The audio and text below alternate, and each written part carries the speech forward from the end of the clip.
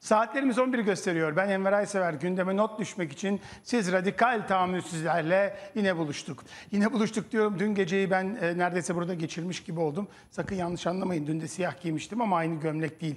Çünkü e, sıcaktan dolayı zaten insanlar günde bir iki kez üstünü değiştiriyor ya da değiştirmeli. Hemen onları attık.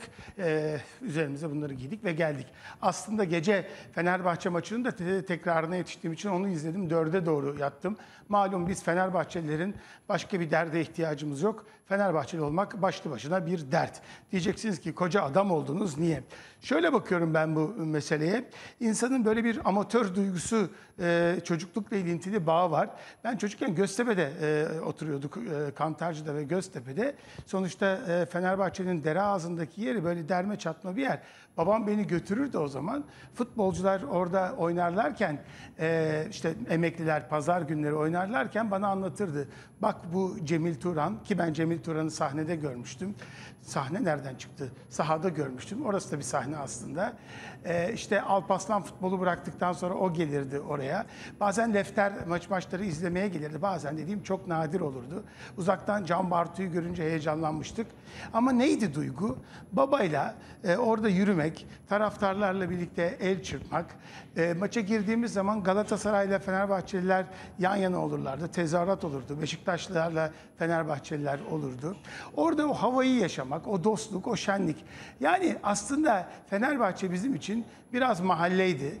Fenerbahçe bizim için e, biraz çocukluk, biraz baba, annenin evden uğurlaması falan. Çok paramız da olmadığı için kale arkasına giderdik, kuyruk e, beklerdik. O duygu hoş bir şeydi. Sonra Fenerbahçe'de kısa bir süre oturduk eşimle beraber. O zaman çocuk yok. O zaman da yürüyerek giderdik maçlara. Yine bir semt duygusu, yine onun e, duygusu. Sonra kızım oldu falan. Ona da böyle e, Fenerbahçeli e, işte kundak bundak bir şeyler alıyoruz zıbın mıbın. Bunu niçin söylüyorum? Hakikaten bu endüstriyel dünya, endüstriyel dünya her şeyin tadını kaçırdı. Ben küçükken Selçuklu'da hayranıydım. Büyüyünce e, dost oldum. Bunun aynısını Beşiktaş'ta arkadaşlarıma uyarlayabilirsiniz. Aynısını Galatasaraylılara uyarlayabilirsiniz. Hele de İstanbul'da olunca bu duygu bir şeydi. İşte bütün bunlar bitti. Hayatın tamamında endüstriyel futbol denen ne aldık, ne verdik, kaç para vesaire. Yani saflık ortadan e, kalktı. E, bunu söylemek istedim. Şöyle bir bakıyorum, hayatta hep yarış, hep dövüşme vesaire. Yani biz Fenerbahçeliler çilekeşiz. Dedem de Fenerbahçeli, babam da Fenerbahçeli, ben de Fenerbahçeliyim. Nihayetinde biz kazansın diye sevmedik ki kaybetse de oradayız. Bu durum değişmek. Hayatta her şeyi kazanmaya da endekslememek lazım. Evet mutlu oluyorsun, çocuksu bir eğlence. Bunu hayatın başka tarafına e, koyduğumuz zaman laf, laf lafı açıyor. Gençlerle konuşuyorum. Mesela ilkokuldan itibaren yanındaki arkadaşına bir dost, işte bir e, sevgi paylaşacağı birisi gibi görmek yerine onu rakip olarak görüyor. Daha anaokulundan. Ve çocuklar arasındaki ilişki ben mi daha iyi İngilizce biliyorum o mu? Ben mi daha iyi okula gireceğim o mu? Ondan sonra sınavların sonuncu alt alta yazılıyor. Çocuk daha ilkokulda o yarışma içerisinde e, şeyde yani hangi okulu kazandın, kaç puan aldın bir taraftan bunun hezeyanını yaşıyor. Ruhsal açmaza giriyor. Oysa ki hayatı buradan mı açıklamak gerekiyor? Buradan mı açıklamak gerekiyor? Üniversite derken falan. E, dün Yusuf Ziya Özcan Bey e, bizimleydi yok başkanı. Aslında perde arkasında bize anlattı. Perde arkasında anlattığında ne var? Aslında üniversiteler üniversite değil. Yok yok değil. ÖSYM ÖSYM değil. Bir bataklık, korkunç bir tablo. Biz 12 Eylül'de e, ortaokul, liseyi okuyanlar daha sonra üniversiteye gidenler ki ben çok geç kazandım. 4 sene üniversite sınavına e, girdim ben. Anca dördüncüde bir kanun hükmünde kararname çıktı da Köksal Toptan'ın e, bize ikinci eğitime verdiler. Mimar Sinan Sosyolojiyi kazandım. 4 sene kadar şey yapamadım. E, Yani benim zihinsel sorunlarım mı vardı? Becerilerim mi eksikti? Neden böyle oldu? E ben edebiyat, tiyatro, e, felsefe, e, sosyoloji falan bunlarla meşguldüm. Annemlerle dedim ki ya ben bari sinema televizyon sınavına gireyim. Marmara Üniversitesi'nde sinema televizyon sınavına girdim. Hasan, sinema televizyon sınavı ilk genel kültürde 100 soruda 98 aldım. Bilemediğim iki soru da sinema kimyası ile ilgiliydi. İkinci oldum. Daha sonra işte e, sinopsis falan yazdırdılar. Hepsini geçtim. Nerede kaybettim biliyor musunuz? Mülakatta. Evet, benim hayatımın rotası orada değişip uçuruma gidebilirdi. Ben ısrar ettim. Bugünlere kadar geldik. İyi mi kötü mü siz karar verirsiniz. Ama mülakatta kaybettim.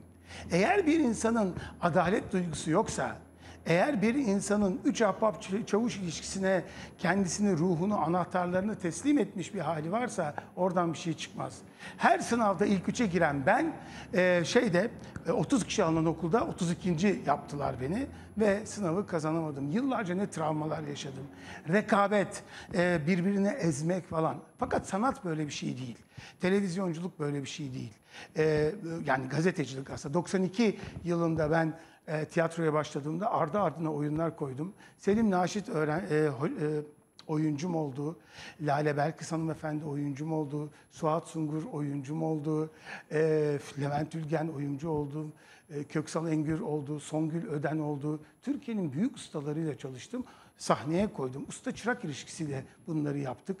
Ustam kimdi? E, ustam e, bilmediğim insanlardı, tanımadığım insanlardı. Oyunlara giderdim. Nasıl sahnelenmiş, nasıl düşünülmüş falan bunlara bakardım. Hiç unutmuyorum.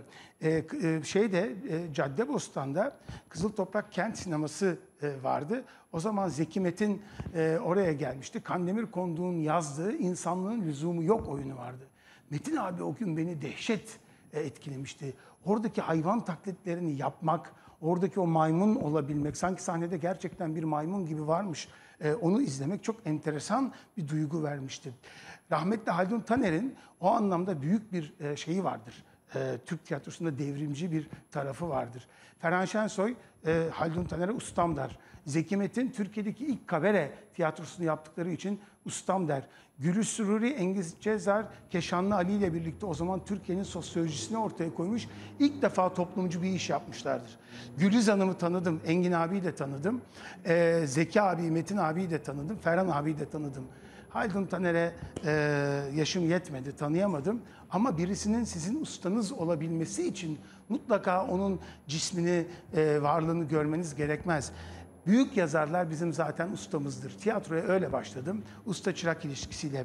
Bugünlerde dostluk, yoldaşlık, usta çırak ilişkisi üzerine çok e, düşünüyorum. Dostlar kitabı e, yazmıştım bundan birkaç sene önce. Hepiniz muhtemelen bu meseleler üzerine kafa patlatıyorsunuzdur. Dostluk ve yoldaşlık çok önemlidir. Benim ustam Feridun Benden orta ikiden itibaren her şeyi sorduğum, e, şiir nedir, edebiyat nedir, düşünce nedir, felsefe nedir diye e, beni yetiştiren ve kendisine her zaman minnet duydum. Feridun Benden bana derdi ki, eğer çırağınız yoksa ustalığınızın bir anlamı yoktur. Çünkü usta olamazsınız. O yüzden ben hep çırağa bakarım. Siyasette iyi bir siyasetçiyseniz bir gelenek oturtacaksınız. Tiyatroda eğer iyi bir tiyatrocuysanız gelenek oturtacaksınız. Hakeza edebiyatta böyle, gazetecilikte e, böyle. Dostlar kitabında da pek çok isimden e, söz ettim. Şöyle bir bakıyorum. Dostlar kitabında yazdığım isimlerin üçte biriyle yollarımı ayırmışım. Ve usta çırak ilişkisinde henüz bu memlekete bir çırak yetiştirmeyi başaramamışım. Dolayısıyla bu saatten sonra biraz da bir çırak yetiştirmek için uğraşacağım. Yoldaşlığa gelince yoldaşlık başka bir şey. Bir yolu yürüyorsunuz ve güven meselesi söz konusu.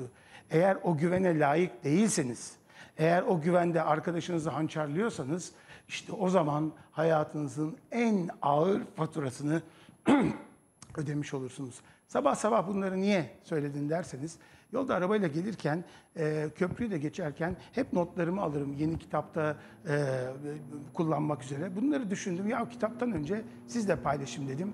Gevezelik ettiysem affola.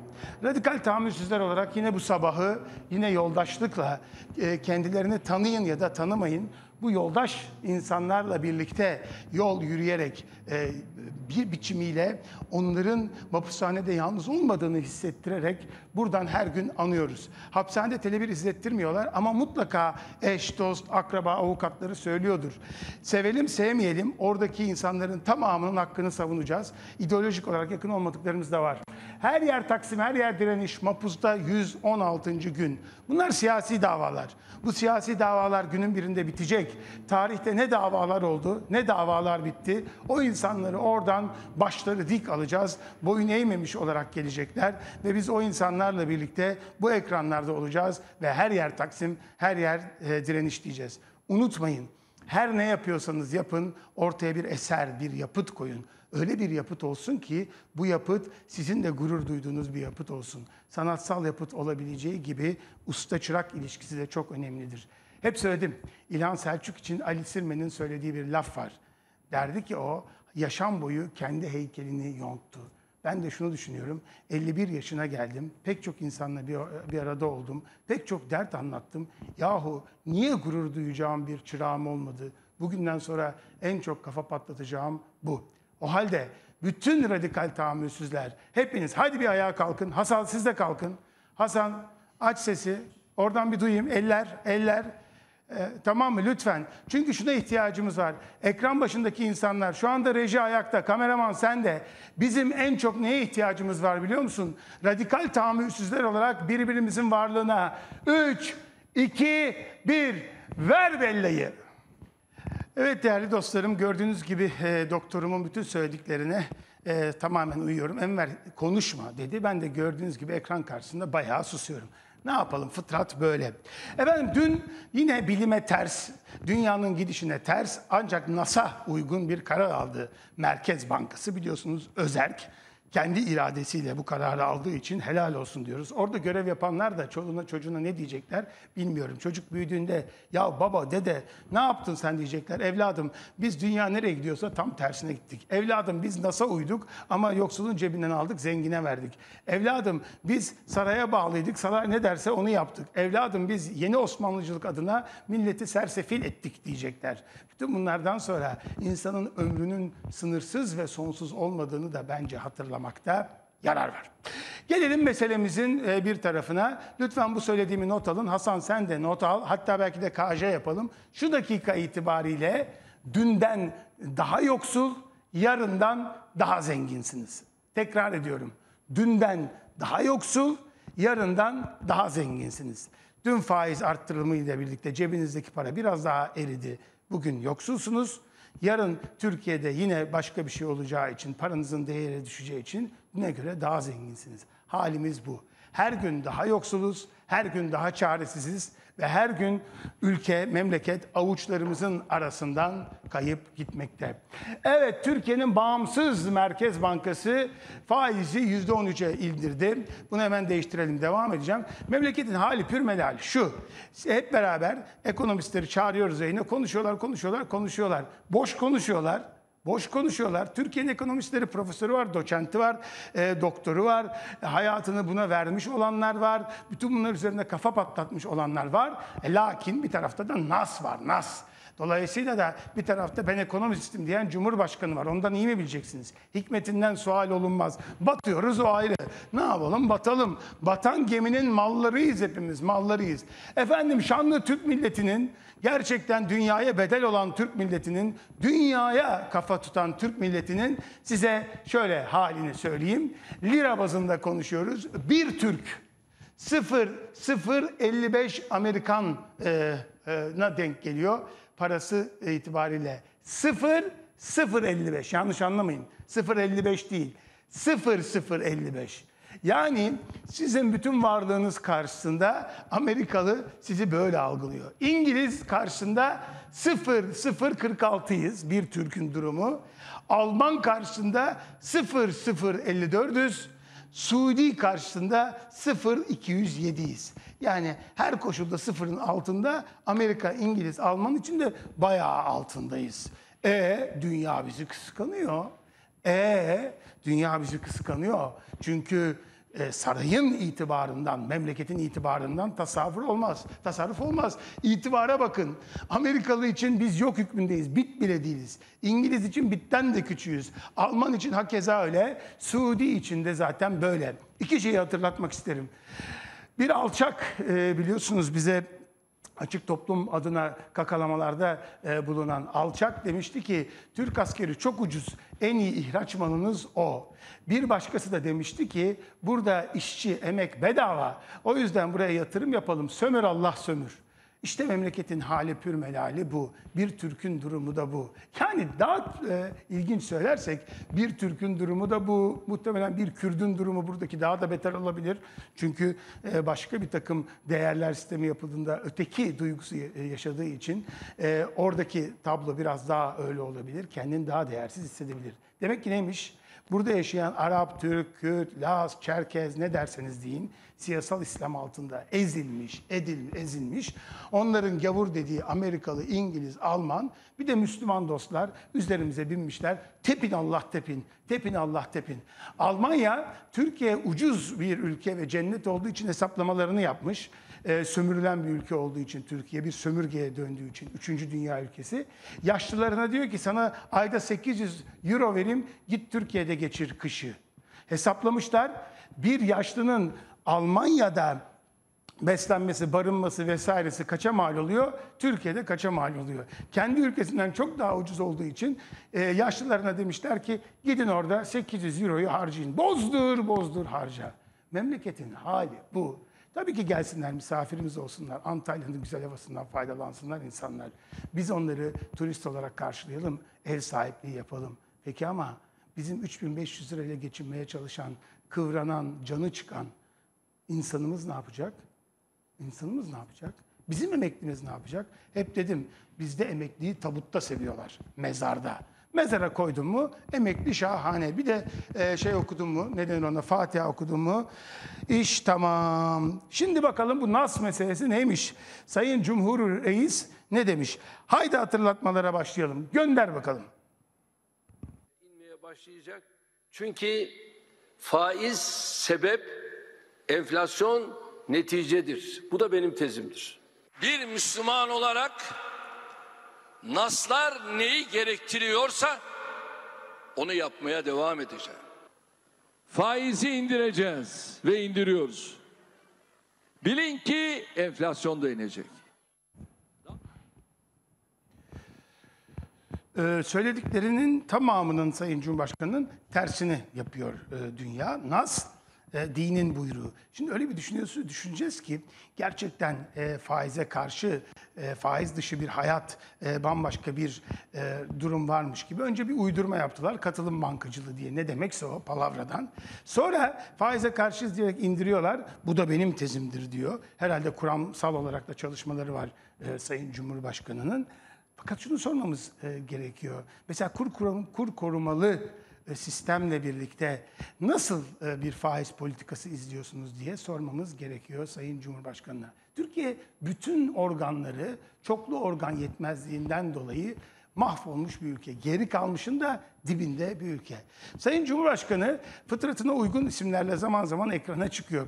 Şimdi size e, hakaret etmek istemediğim için uygun bir dille e, söylemem gereken e, kendisine e, türlü değerlendirmeler yaptığım bir arkadaşla Sayın Cumhurbaşkanı'nın konuşmasını e, izleyeceğiz.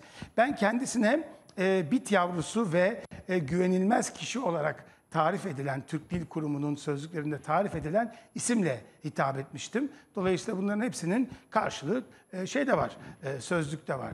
E, bit yavrusu ya da kendisine güvenilmez kişi olarak tarif etmiştim. Sözlükte var. Bilmiyorum siz biliyor musunuz ona ne demeyi. O kişi karşısında Sayın Cumhurbaşkanı'yla konuşuyor. Buna da gazetecilik deniyor. Hey benim memleketim. Bir bakalım. Hep söylüyorum. Hep söylüyorsunuz evet. Yani gerçekten bütün ekonomi uzmanları ya bu felaket olur, bu yapılmamalı diye feveran ettiler. Ben de onlardan çok etkilenmiştim. Şimdi faiz indi. E, enflasyon da iniyor yani hakikaten enflasyon. E, Pardon? Daha da inecek. Bu bir süreç. Yani aslında 90 e, 2008'den beri bunu söylüyorsunuz. Pardon? Hep söylüyorum. Hep söylüyorsunuz evet. Yani gerçekten felaket senaryoları yazdılar. Yani faiz indiği anda o ülke şey olacak. Hatta Merkez Bankası Başkanı direniyordu indirmemek için. Ya o onu destekliyordu herkes. Ya iyi direniyor da işte ise e, ülke ekonomisine bir şey olmuyor filan deniliyordu. Halbuki hakikaten faiz indi. Enflasyon da iniyor. Ekonomide de herhangi bir olumsuz tablo yok. Hatta tam tersine. Gerçekten felaket senaryoları yazdılar. Yani faiz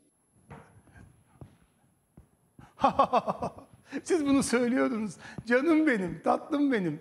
Ee, Türkiye'deki gazetecilik önceden hazırlanmış cevaplara e, soru sormak, eğer mümkünse de yıkama yağlama yapmaktır. Hani usta çırak ilişkisi dedim ya, Allah muhafaza Ahmet Hakan'ın da e, çırağı olursa önümüzdeki dönemlerde de ayvayı yeriz.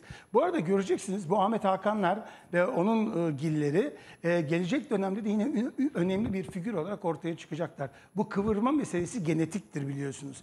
Yarın onlar siyasette yine yerlerini bulurlar. Türkiye namuslu, onurlu, haysiyetli, mesleğini doğru yapandan pek hoşlanmaz. Az önce Cemre söyledi, ben e, dikkat etmemişim. E, değerli, e, güvenilmez kişi e, burada bu değerlendirmeleri yaparken beyefendinin e, konuştuğu gün dolar 5 liraymış. Dolar 5 liraymış. Şöyle bir bakalım Sayın Cumhurbaşkanı'nın gülüşüne bakın dinliyor. Biraz daha överseniz memnun olurum tavrında. Öv, öv. Adam soru mu soruyor? Yıkama yağlama mı yapıyor? Sayın Cumhurbaşkanı dinliyor. Aferin diyor. Tam sana öğrettiğimiz gibi diyor. Fahrettin bunu iyi yetiştirmiş diyor. Şimdi ne ne yapıyor? ben doğruyum hepiniz dangalaksınız. Memleketin hali pür melali bu. Fakat bizim insanımız ders almıyor. Bizim insanımızı anlamak için bazen uğraşıyorsunuz. Diyeceksiniz ki halka düşman olunur mu? Valla Melih Cevdet büyük usta. Hep söylüyorum bunu asla unutmayın. Melih Cevdet'in Cumhuriyet'teki bir yazısını hiç unutmam. Aydınlanma ile aydınla ilgili bir yazıdır o. Ve aydın halk dal kavukluğu yapamaz der. Biz siyasetçi değiliz.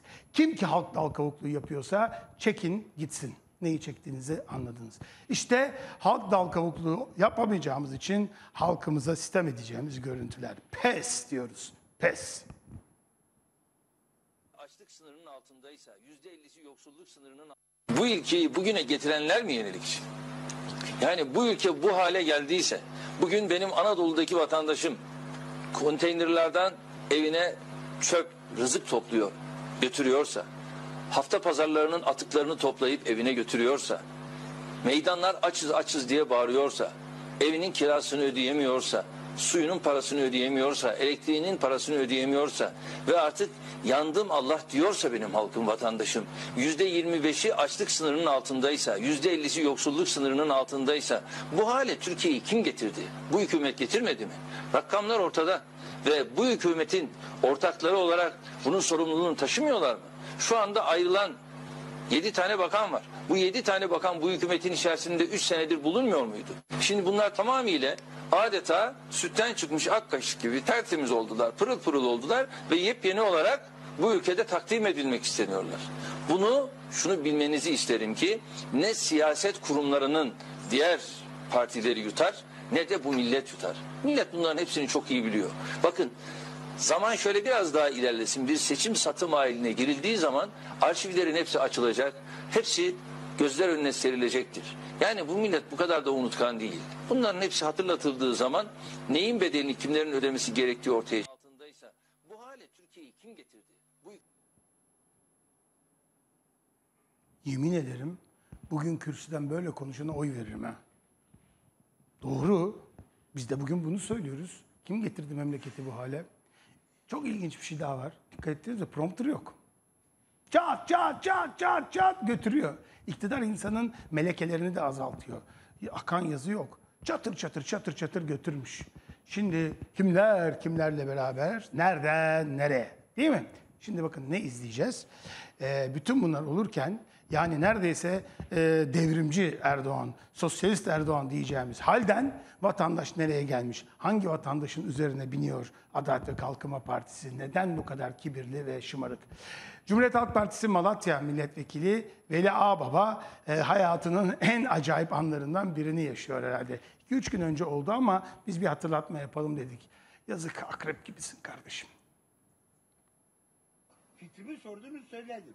Ama sağlıkta çok... Emekliyim efendim. Derdin nedir senin? Benim derdim sağlıkla. Ne? Randevu alamıyorum. Sayın Vekilim randevu alamıyoruz. Allah aşkına bunu bakanlarımıza, e, reisimize iletin ya. Ne kadar günler Bir acaba? ay veriyorlar, iki ay ben geberiyorum, ölüyorum. Sağlık problem yok. Nasıl problem yok ya? Sayın Bakan uyumasın, uyumasın. Vallahi AK Partiliyim. Namussuz, şerefsizim de AK Partiliyim. Vermiyorum size oy. Canı sağ Özür dilerim. Canı sağ olsun. Bak fikrimi sordunuz söyledim. Ama sağlıkta çok sıkıntılıyız ya. Emekliyiz.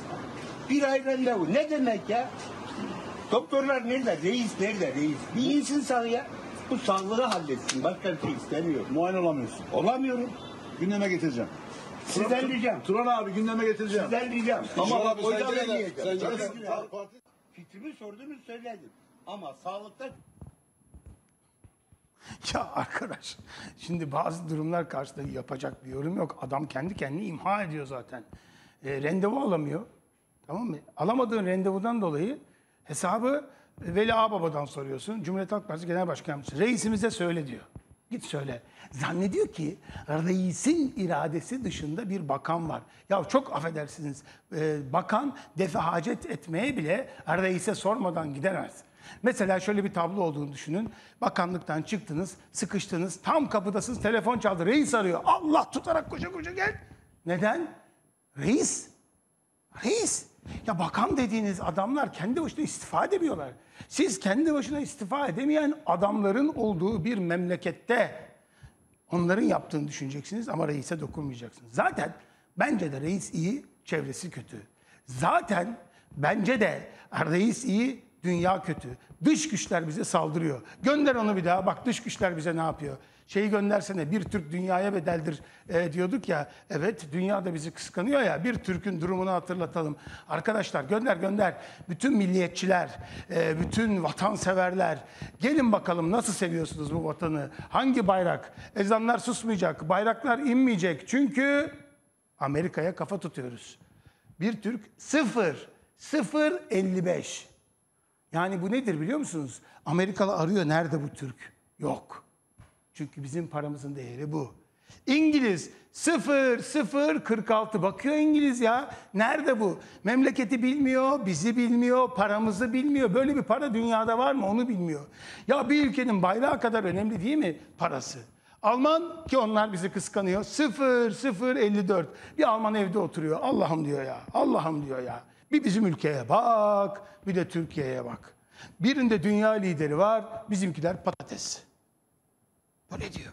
Tablo ne? Bu. Suudiler de diyor ki bizim kankalar 0207 yani e, bir, e, bir Suudi beş tane Türk ediyor. Tablo bu. Ne yapıyoruz? Dünya bizi kıskanıyor. O kıskanan dünyayı bir yakalasam var ya. Neyse. Velhasıl kelam durum bu. Şimdi size e, hangi arkadaşımız hazırladığını bulamadım. Bizden değil dışarıdan aldık onu. Sosyal medyadan aldık. Bir şey seyrettireceğim. Yıllardır söylediğim ama belgesini koymadığım e, bir durumun belgesini göstereceğiz. Bakın Türkiye'de nasıl yönetiliyoruz? Akan yazıyı geçtik. Akan yazının da ötesine geçiyoruz. İki kişiyi getireceğiz. Cumhur Başvekil. Cumhur Reis başvekil. Başvekil dükkanı kapadı. Şu anda ne iş yaptığını bilmiyoruz. Cumhur Reis sarayda oturuyor. İkisi konuşma yapıyor. Konuşmalarını yan yana veriyoruz. İkisinin de konuşmalarını birileri yazıyor. Aradan da sanıyorum 3-4 yıl geçmiş. Gözlerinize inanamayacaksınız. Hazır mıyız? Hakikaten radikal tahammülsüzler güleriz ağlanacak halimize. Buyurun. Sosyal medya dili gençlerimiz sosyal medya dili gençlerimiz arasında geçerli, geçerli bir yazı iletişim diline, diline dönüşüyor. iletişim diline dönüşüyor. Anlamsız kısaltmalar. Anlamsız Aralara kısaltmalar, serpiştirilen yabancı aralara kelimeler, serpiştirilen bozuk yabancı cümleler, kelimeler, saçma bozuk ifadeler cümleler günden giderek güne sıradan hale hale geliyor. geliyor. Sosyal medya dili gençlerimiz sosyal medya dili gençlerimiz arasında geçerli, geçerli bir yazı iletişim diline, diline dönüşüyor. iletişim diline dönüşüyor. Anlamsız kısaltmalar. Anlamsız Aralara kısaltmalar, serpiştirilen yabancı aralara kelimeler, serpiştirilen bozuk yabancı kelimeler, saçma bozuk ifadeler cümleler günden giderek güne sıradan hale sıradan hale geliyor. geliyor.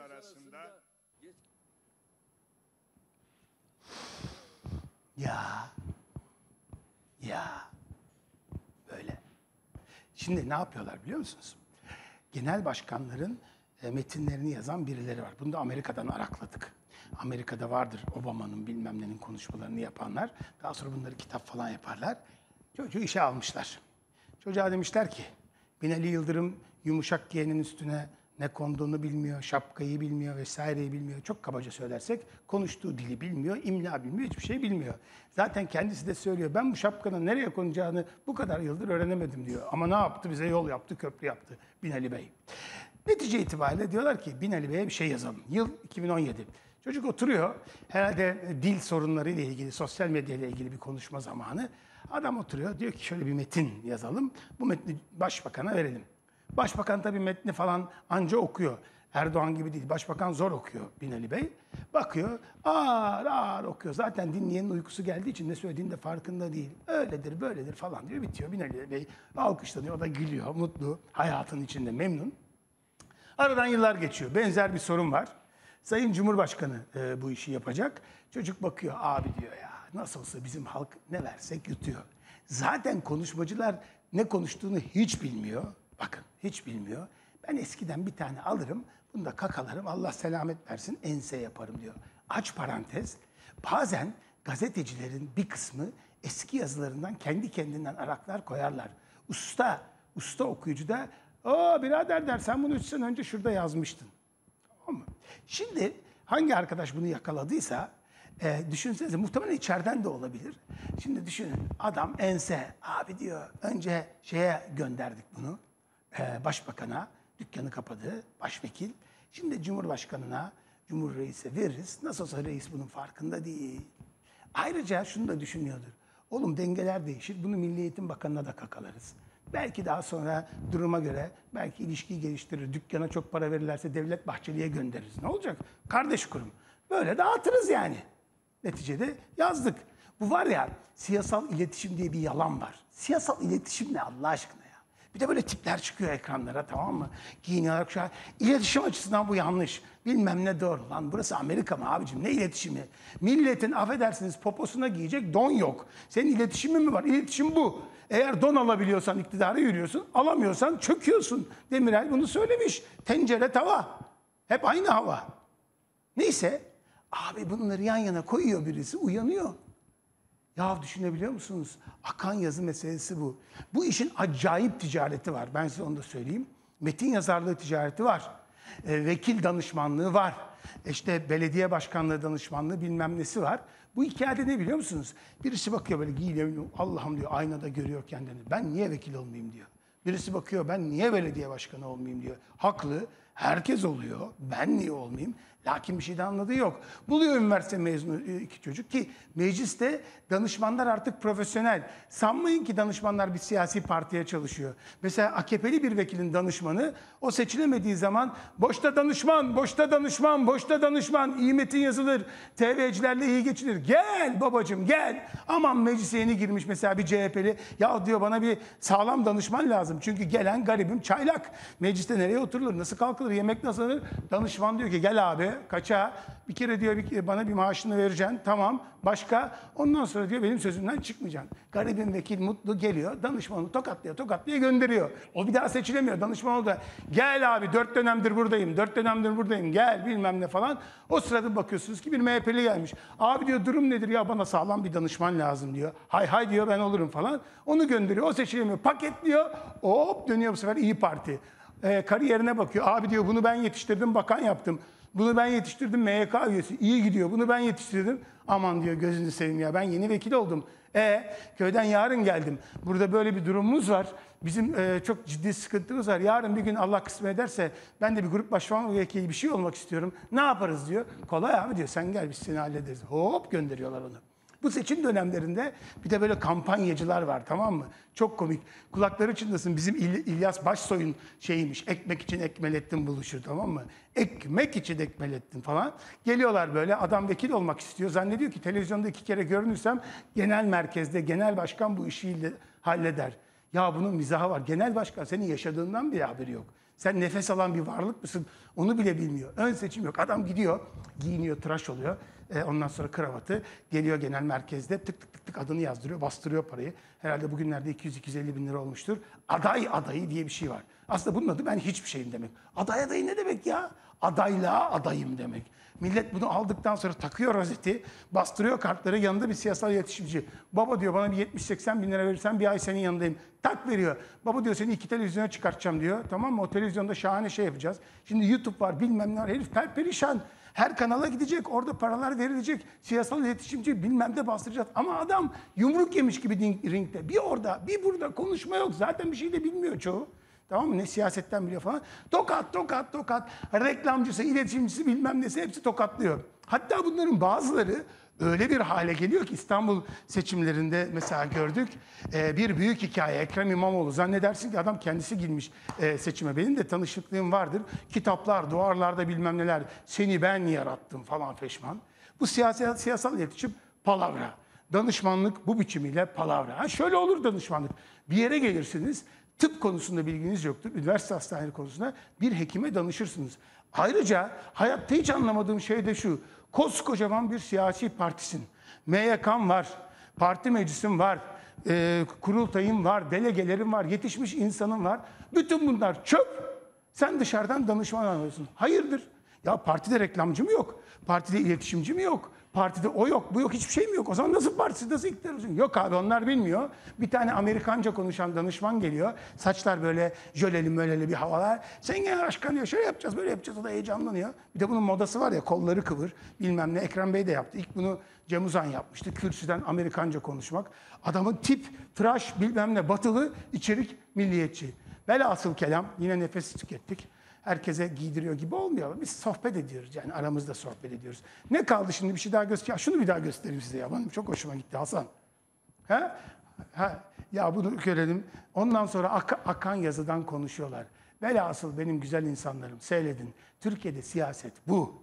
Türkiye'de tablo bu. Aynı yazıyı da size okuturlar. Sizi gezdirirler kapı kapı. Sizi bir gün ülkücü yaparlar.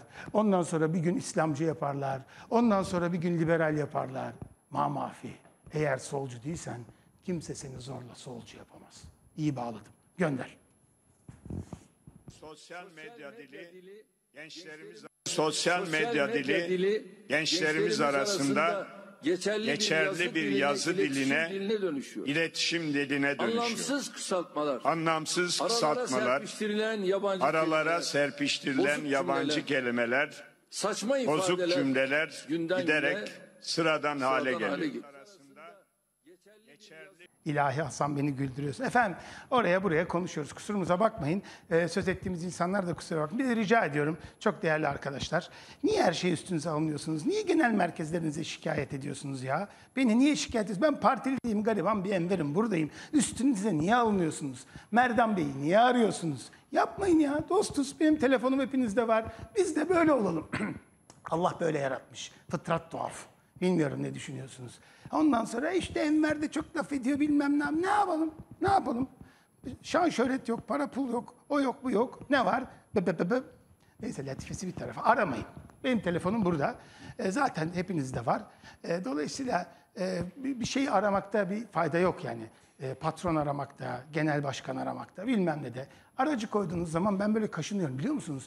Hasan bende tuhaf bir şey oluyor. Bir şey yapma dedikleri zaman daha çok yapasım geliyor. Mesela ona giydirme dedikleri zaman böyle tık tık tık tık tık oluyorum. O yüzden bence öyle yapmayın. Beni arayın onu dinlerim. Cevap, cevap hakkı kullanın. Onu da dinlerim. Ama böyle aracılarla bu işi yapmayalım. Anlaştık. Tamam. Yoksa Bella veriyoruz. Bella güzel. Efendim Akit adlı e, çalışmayı ekrana getirdik. AYM fırsatçıları sevindirdi. Anayasa Mahkemesi Cumhuriyet Halk Fırkası'nın dar gelirlilerin sırtından vurgun yapan fırsatçıları yaratmak için AYM'yi kullandığını söylemiş. Cumhurbaşkanı Erdoğan'ın fırsatçıların önüne geçilmesi ve fahiş fiyat artışlarının önlenmesi için attığı adım Cumhuriyet Halk Fırkası'nı rahatsız etti. Fiyat İstikrar Komitesi hakkındaki kararnameyi iptal eden AYM, Cumhuriyet Halk Partisi ile fırsatçıların yanında yer aldı. Size girdi AYM. Yarın bir gün Sayın Devlet Bahçeli çıkar ve olayı bitirir, kapatın. Devlet Bey'de en sevdiğim şey ne biliyor musunuz? Samimi söylüyorum, çok seviyorum. Net. AYM mi bir şey söylüyor? Kapatın. Türk Tabipleri Birliği mi bir şey söylüyor? Kapatın. Net. Hiç içinde şey yok. Kapat abi. Zaten Türkiye'yi kapatıp anahtarı atmadı mı Sayın Binali Yıldırım? Kapatın diyor. Ee, ondan sonra Başkan Erdoğan diyor onlar. Zelenski ve neydi adamın adı? Guterres. Guterres diye mi okunuyor acaba? Guterres diye mi? Dur. Guterres mi? Ha. Hasan ya dünyanın bütün dillerini biliyorsun. Allah senden razı olsun.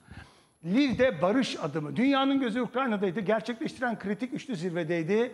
Oraya giden Cumhurbaşkanı Zelenski ve Guterres'le görüşmüş ve ardından Türkiye'nin arabulucu olacağını söylemiş. Şimdi bakın işin gırgırı bir tarafa Erdoğan bu işi iyi götürüyor. Şundan dolayı iyi getiriyor. Muhalefette özellikle Meral Hanım falan doğrudan Amerikancı bir çizgiye gitti. Zaten onların uzantısında özellikle bizim e, e, ana akım dediğimiz medyada davul zurna ile görüyorsunuz. Dikkat edin e, bizim muhalif sandığımız bir diğer kanal var. Ee, orada da dangır dangır dangır davul zurnayla bu NATO'culuğu savunanlar var. Onlar Suriye'ye barış götürüyorlardı. Bazıları buradan tüydüler. Şimdi hala orada olanlar da var. Bizim e, e, kardeş medya olarak saydığımız, ben bu arada kimseyle kardeş mahalleş değilim. Onu da söyleyeyim. Orada bu e, e, şeyi yapıyorlar. E, ama Erdoğan bu işi iyi götürdü. Hem ona göz kırptı, hem buna göz kırptı. Buğdayı, tahılı bilmem neyi, gazı buraya getiriyor. Almanya diyor ki bu kış e, soba yakacağız. Oradaki tablo bu. O yüzden arabuluculuğunu istiyor Türkiye'nin. Erdoğan da seçime giderse bunu koz olarak kullanacak ve başarılı olacak. Devam edelim. Hürriyet. Efendim e, medyanın batmış gemisi malum haliniz Hürriyet. Eskiden amiral gemiydi. Hürriyet'i bilmiyorum okuyanınız var mıydı? Ben genellikle Hürriyet'i böyle uçak yapardım. Çünkü netice itibariyle bir magazin gazetesinden daha beter haldeydi. Gazetede pek denmezdi süpermarket. Efendim umut masası diye vermişler. Bana sorarsanız burada Erdoğan hakkını teslim etmek lazım. Başbakanın Çılgın Partisi, Finlandiya Başbakanı 36 yaşında, şahane de güzel bir kadın falan. Çok takdir ediyorduk fakat bir partiye gitmiş. Orada da e, dans et- etmiş falan ve uyuşturucu çıkmış. Ve muhalefet diyor ki uyuşturucu testi yap. Haklılar. Bir de e, hürriyete baktığımızda hoşumuza giden tek şey Viyana'da zafer. Özlemişiz Fenerbahçeliler açısından. Yok mudur kurtaracak şu Yunusları? Gerçekten e, hürriyette çok güzel bir haber. Bu alçaklıktır. Yunus parklarına gitmeyin. Hayvanat bahçelerine gitmeyin. Hayvanlara zulüm yapılan hiçbir yere gitmeyin. Hayvanlar doğada yaşamalı. Hayvanlar özgür olmalı. Pet shoplar kapatılmalı. İnternette hayvan ticareti yapanlar yargılanmalı. Hayvanları ze- zehirleyenler zindana tıkılmalı. Hiçbir insanın canı hayvanlardan daha değerli değildir. Nokta. Herkes haddini bilsin, aklını başına alsın. Hayvan mücadelesi insan mücadelesinden de daha önemlidir.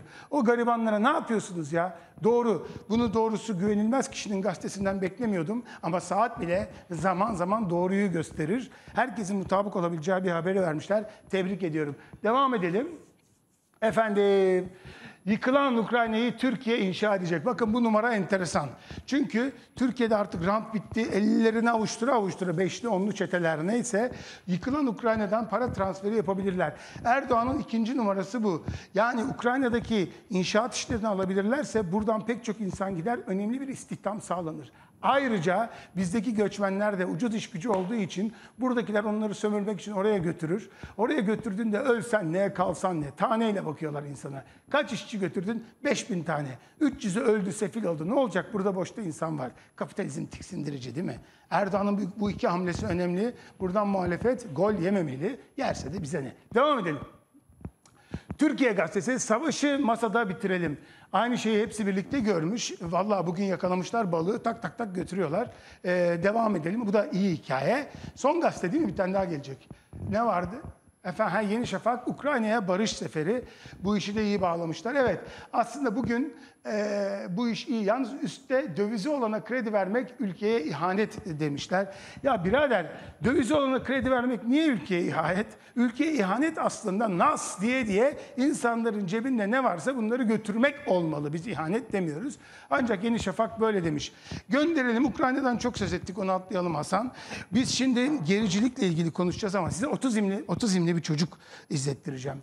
Yahu insanlar hakikaten sosyal medyadan aldım bunu. Bakın evde ben burada yapamıyorum. Hasan siz de içeride. Her türlü küfür edebilirsiniz. Her türlü küfür. Bakın ağzınıza ne geliyorsa söyleyebilirsiniz. Evde her türlü belayı okuyabilirsiniz. Aklınıza ne geliyorsa yapabilirsiniz. Alçaklığın, namertliğin, utanmazlığın vesikasını size yayınlayacağım. İzlediğim anda o kadar sinirlendim ki, o kadar sinirlendim ki dünkü söylediklerimi burada söylesem 15 dakika bip olur. Zaten açıktan söylemiş olsam Rütük e, herhalde bir 10 sene kadar bizi kapatır. O kadar sinirlendim. Hasan hepiniz küfür edebilirsiniz. Hepiniz beddua edebilirsiniz. Ben böyle alçaklık görmedim. Böyle utanmazlık görmedim. Göndersene Hasan. Tıp fakültesi ne dedi? O da aynı şeyi söylüyor. Otizm. Otizm ne demekti dediler mi sana? Yani sadece demek İsrail'e para yatırmak demekti. Kıymetli kardeşlerim, o e, folik asit ne kadar kullandın? 3 ay falan. 3 ay folik asit. Folik asit İsrail çıkarttı Filistin'i yo- yok etmek için. Folik asit kullanan bütün çocukların hepsi işte bu şekilde hastadır. 10 kişi kumanda edemez. Folik asit İsrail çıkarttı İslam dinini yıkmak için. İşte görüyorsunuz şu çocuğu 10 kişi kumanda edemez bunu. Çünkü beyin yok, yürek yok, omurga yok. Ee, İslam dini nasıl yıkılacak? İşte bu şey 2000'den sonra e, anasını tanımaz, babasını tanımaz, kimse kumanda edemez, askerlik yapamazlar. İslam dinine büyük darbe vuruluyor. Herkes bunu. Bir doktor Onu arkadan da verir misin lütfen Hasan? Bu nedir ya?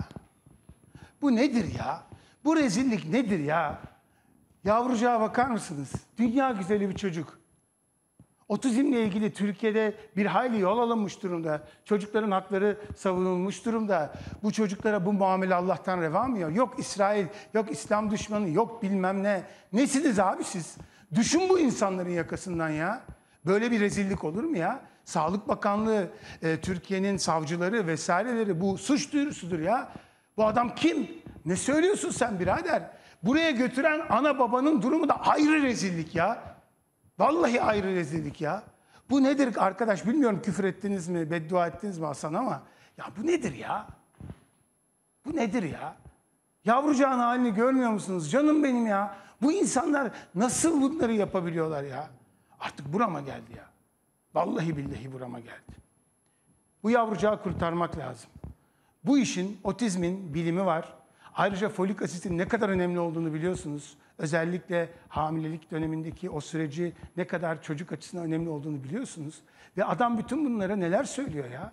Aşı karşıtlığı da bunun içinde. Benim başıma bela oldular zaten. Her gün vık vık vık vık vık şey yapıyorlar. Cemre o hazırlayacak inşallah. Onu da size vereceğiz. Daha Canan Karatay meselesini unutmadık.